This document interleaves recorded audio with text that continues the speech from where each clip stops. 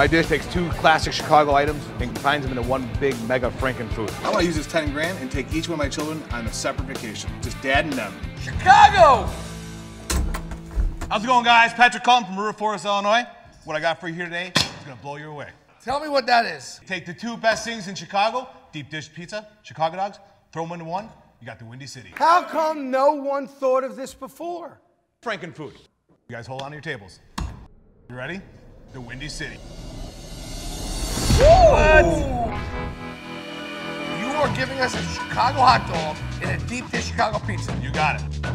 Do a deep dish dough, line it with poppy seeds, bright green relish, the cheese, hot dogs, onions, tomatoes, the sport peppers, oh. bake it off, finish it with mustard and the pickles, and there you go. Oh my God! There you go.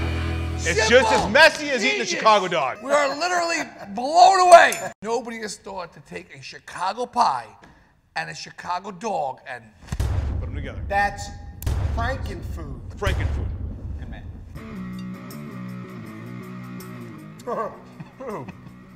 oh. Ooh, it's a hot dog.